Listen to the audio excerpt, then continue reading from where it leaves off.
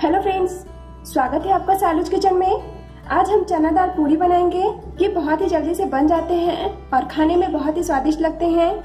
आप इसे अपने मनपसंद के किसी भी सब्ज़ी के साथ खा सकते हैं, चटनी के साथ खा सकते हैं।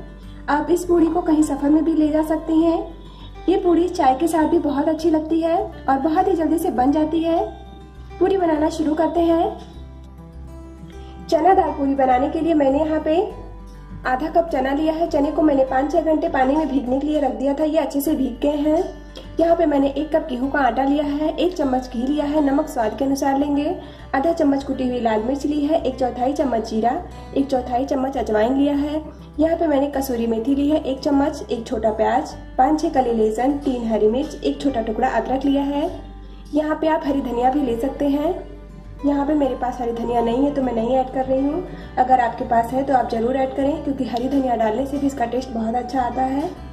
पूरी बनाने के लिए सबसे पहले हम चना दाल, लहसुन, अदरक, हरी मिर्च और प्याज का पेस्ट बना लेते हैं। यहाँ पे मैंने चना दाल, लहसुन, अदरक और प्याज को एकदम बारीक पीस लिया है, आप देख सकते हैं। मैंने इसे पीसने में थोड़ा सा पानी डाला है। अब इसमें हम कुटी हुई लाल मिर्च डालेंगे। कसूरी मेथी, अजवाइन और जीरा, नमक, घी,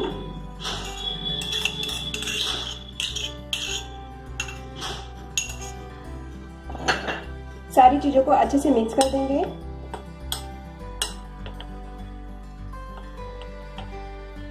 यहाँ पे मैंने सारी चीज़ों को अच्छे से मिक्स कर दिया है। अब इसमें हम थोड़ा थोड़ा आटा डालकर इसका डो बना लेंगे।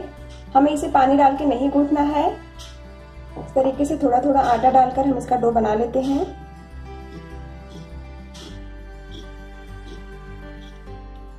अपनी ज़रूरत के हिसाब से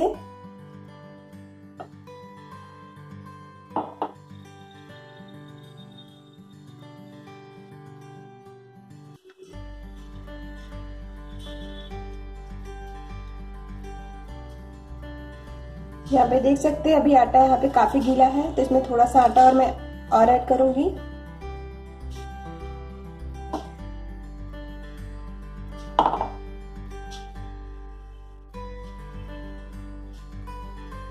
जैसे मैंने यहाँ पे आटे को गूंथ लिया है, यहाँ पे मैंने जितना आटा लिया था, सारा आटा इसमें लग गया है।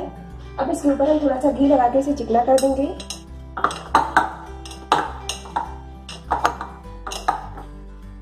और इसे हम ढक के रख देते हैं 10 मिनट के लिए ताकि आटा हमारा रेस्ट ले ले थोड़ी देर के लिए। यहाँ पे 10 मिनट हो चुके हैं। आटा अच्छे से सेट हो गया है। अब इसकी हम पूड़ी बनाएँगे। पूड़ी बनाने के लिए सबसे पहले हम छोटी छोटी लोइया बना लेते हैं।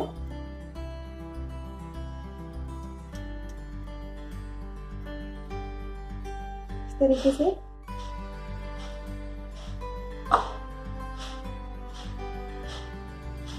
पूड़ी आप अपने हिसाब से थोड़ा सा मोटी या थोड़ा सा पतली रख सकते हैं, आपको जैसी पसंद है।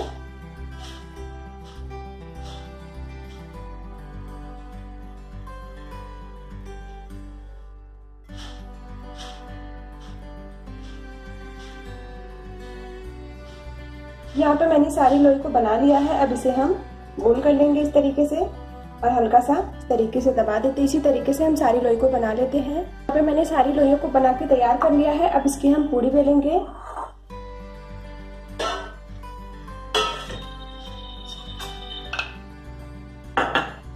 इस तरीके से थोड़ा सा तेल लगा लेंगे, ताकि पूड़ी बेलते समय चिपके ना।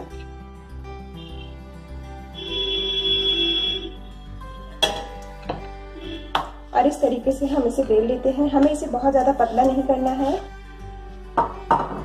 आप देख सकते हैं, मैंने इसे कितना मोटा रखा है। इसी तरीके से हम सारी पूरी को बेल के तैयार कर लेते हैं।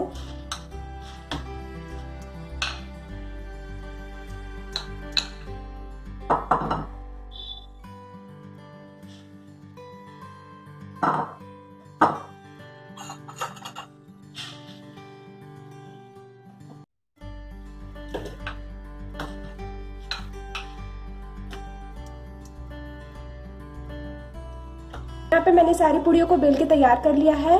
अब हम पूड़ी को तलेंगे। तो तलने के लिए मैंने गैस पे तेल को गर्म होने के लिए रख दिया है। तेल यहाँ पे अच्छे से गर्म हो गया है। अब इसमें हम पूड़ी डालेंगे।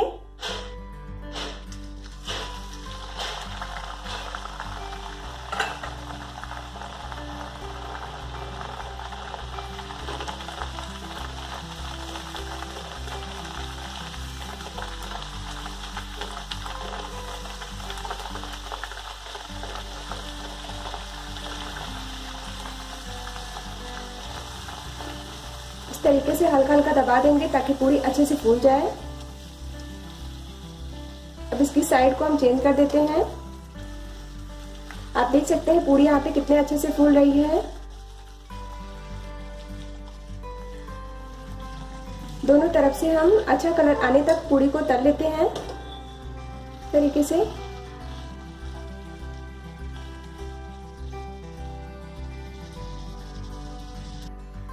यहाँ पे पूरी दोनों तरफ़ अच्छे से सीख गई है। अब इसे हम निकाल लेते हैं। इसी तरीके से हम बाकी की पूड़ियों को भी तल लेते हैं।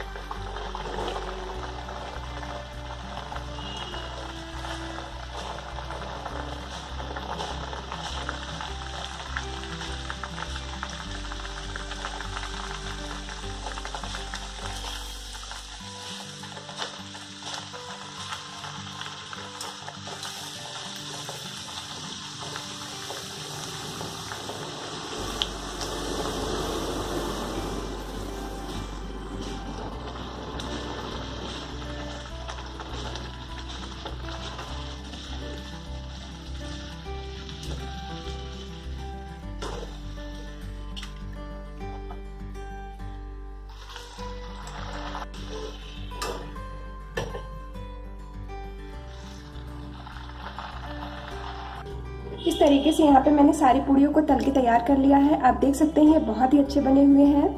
ये खाने में बहुत ही स्वादिष्ट लगता है। आप इसे अपने मनपसंद की सब्ज़ी के साथ भी खा सकते हैं। चटनी के साथ भी खा सकते हैं। आप इस पूड़ी को कहीं सफ़र में भी ले जा सकते हैं। ये पूड़ी चाय के साथ भी बहुत अच्छी लगती है। तो फ्रेंड्स, इस रेसिपी को आप ज़रूर ट्राई करिएगा। अगर आपको रेसिपी अच्छी लगी तो चैनल को सब्सक्राइब करिएगा, वीडियो को लाइक करिएगा, शेयर करिएगा। कमेंट करके ज़रूर बताएगा कि आपको ये रेसिपी कैसी लगी। धन्यवाद।